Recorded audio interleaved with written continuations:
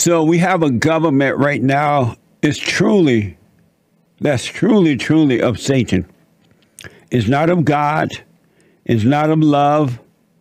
It is pure ego driven, a strong desire for power and wealth. And if you notice, I want you to pay attention because you can prove me wrong. I, you can you can try to prove me wrong. I'm not going to be able to, but you can try. Um,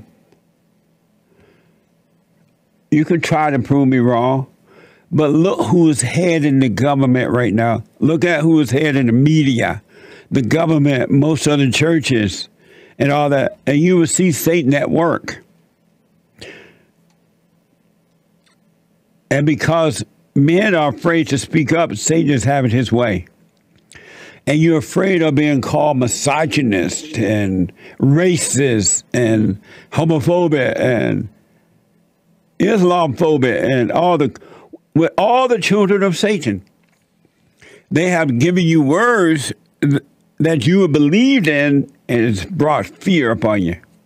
Now they're taking your life away from you, your children and everything. They're brainwashing the children like 90 going north, and they can care less about what you think about it. They, they don't give a hoop. And they don't care because they know you are not strong enough to stop them. You have fear. They're brainwashing the children like, and they're changing the, the order of America like a hurricane. Hurricane. It's crazy to see how fast they're moving.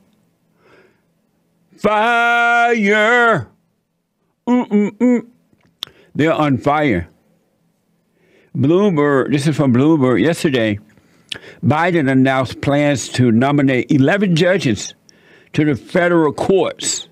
11 to the federal courts. Listen to this. The uh, nominees include three black women, and if confirmed, could result in the first Muslim Allahu Akbar federal judge in the country's history. Watch this. President Biden today launched his effort to reshape the federal judiciary, announcing a diverse list of judicial nominees with a wide range of experience. This is also a groundbreaking slate in many ways. It includes four nominees who have served as public defenders, four who are members of the AAPI community, a nominee who, if confirmed, would be the first Muslim American federal judge in history. None of the 11 nominees are women. In a statement, the president described his list of nominees as trailblazing, and he continued, quote, each is deeply qualified and prepared to deliver justice faithfully under our Constitution and impartially to the American people. And together they represent the broad diversity of background, experience, and perspective that makes our nation strong, end quote. Wow. If y'all can't see by now that you're being set up to be destroyed, I don't know what else it's going to take. 11 judges to the federal courts.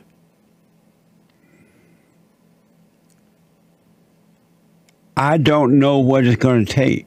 Why? Just think about it. Why do you think they're putting all these radical black women, Muslims, and stuff in control of your country?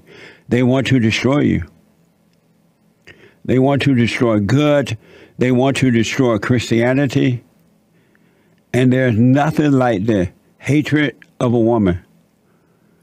Women get life from destroying, they don't get life from building. When they can bring you pain and misery, even if it's to the children, and you overreact to it and they see that's important to you, you're giving them your life every time you overreact. They know what they're doing by putting these women and Muslims in charge of our country because they know that these people are evil and they get life off by destroying you. The more pain they can bring you, the longer they live, and then you die. It's a horrible mistake to be allowing this to happen, folks. and they use words like women, Muslims, like that's supposed to mean something, right? You got to overcome words. You're being manipulated, you're being set up, and you're being destroyed with words. Children of God overcome words. You overcome the world. And you can't make yourself overcome. You will, God will cause you to overcome, just like Satan caused you to be evil and, and do the things that you wouldn't ordinarily do that are evil. We're not in control. We are a spirit. And if you have not overcome the mother and returned to the father, Satan is your daddy. And if you have returned to the father, God is your daddy. And in him there is no fear. There is no anger. There is no hatred. It's the power of real love, not the fake love that fades after the first sexual encounter. This is so dangerous. I don't know how to. They're setting it up for a real war. We're having an internal war within our country, a war within, and it's worse than the war from without. And they're setting their arm, army up with these radical, angry black and white and Asian women. It's not by accident that this is happening. And it's not for the love of women. It's for the love of evil. Uh, this is from Bloomberg, another report here. The Biden administration, this is from Bloomberg, the Biden administration won't have the American Bar Association vet judicial candidates before they are nominated. You know how normally they have to be vetted?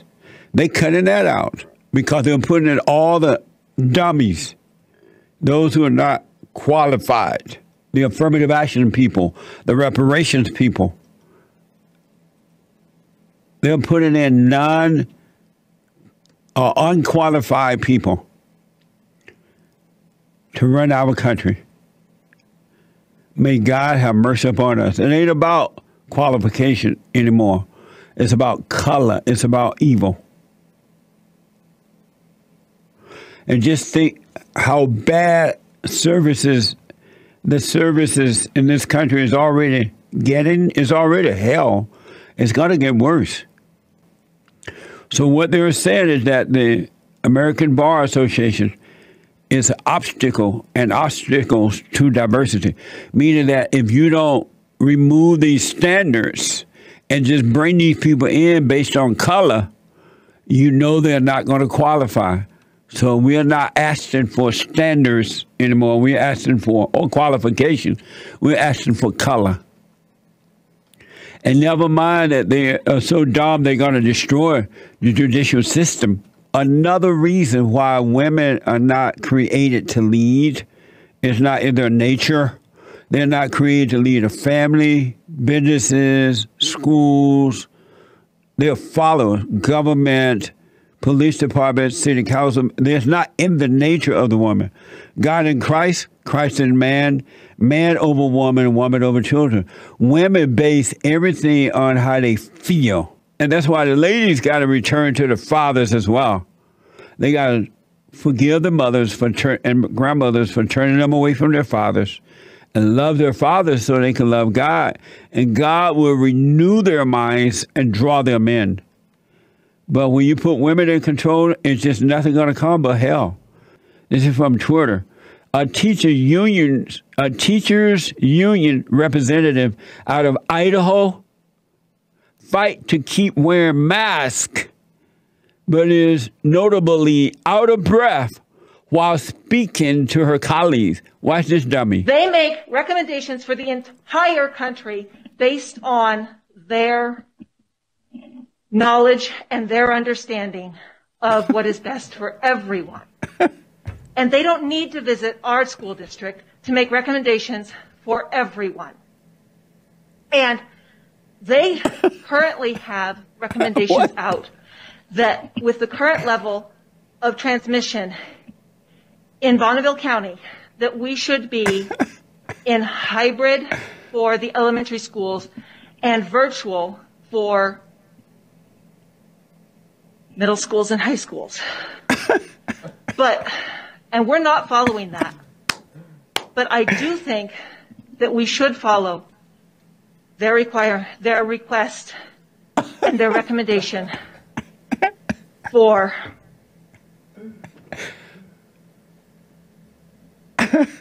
masking.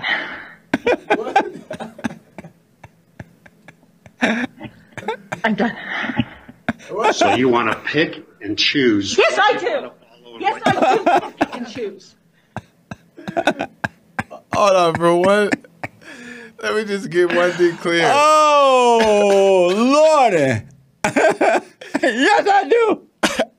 We're I watching can't her. breathe. Hands up. We're watching her. I don't see no legs moving. I don't see the desk moving. And She- she's out of breath. In that mask. That mask about to kill her. Uh, uh, yes, I do. And then just reacted. I never seen that before. That was a new one. Women in charge.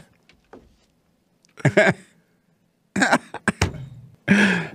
is amazing. She recommended a mask. Want to keep wearing the mask, but can hardly breathe.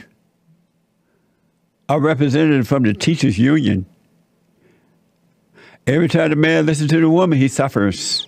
Yesterday, we played a clip of uh, of the CDC director a woman by the name of Rochelle Walensky. Okay, now she's scared because she's so scared. Everybody got to wear a mask. She's scared. Um, I know what it's like as a physician to stand in that patient room, gowned, gloved, masked, shielded, and to be the last person to touch someone else's loved one because their loved one couldn't be there.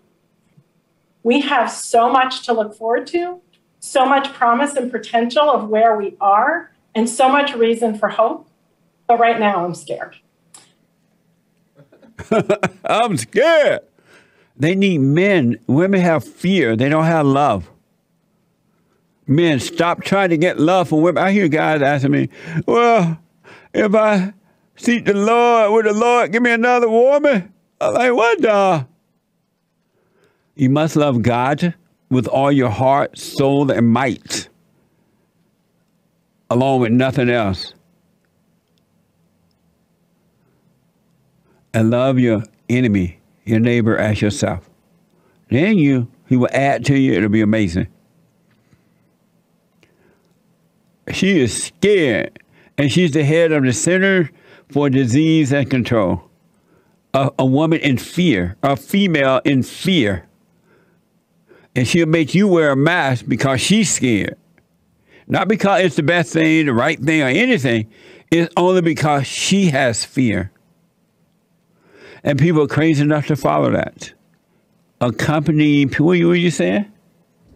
I mean, the CDC is is the health company, right? So Yeah. people are looking towards this company for confidence in what what the state of the health crisis of the United States is.